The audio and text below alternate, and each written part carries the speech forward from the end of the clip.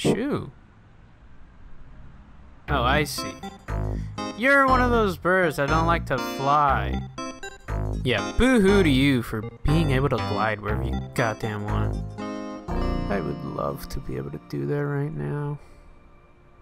I can teach you how.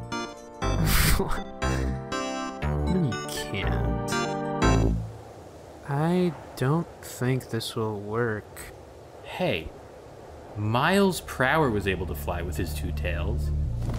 You got two triangle ears bigger than my two little flaps. We could be the new Sonic and Tails. You can be the one that flies and I don't.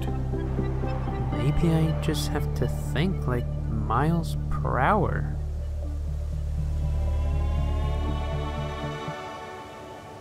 Well, here goes nothing.